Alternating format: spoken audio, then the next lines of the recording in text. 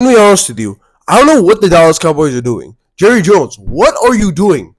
Y'all are not getting new receivers. You're not getting new tight ends, especially in the playoffs. This was exploited. You when Dak was only throwing to CeeDee Lamb, there was nothing else you can do.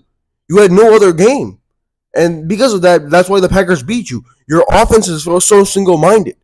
You need new receivers or new tight ends just to improve that chance. Because Dak is not an elite quarterback. He's an okay quarterback. Also, why did you not get a new running back? I don't understand. What are you guys going to draft running back? I wouldn't do that because I would have signed one right there and then. Like get like a Derrick Henry or something like that. And what are you guys doing for your O line? Some of your O line members left, and then you haven't replaced them. Like, bro, if I was a person who was grading the Dallas Cowboys, I would give you all an F because what is happening? You haven't improved your team, you haven't done anything, and then you guys got worse because you've lost a couple players. You guys gotta do better, bro. Just because you're like the most famous NFL team doesn't mean you do nothing. Like y'all lost in the first round. Do better, bro.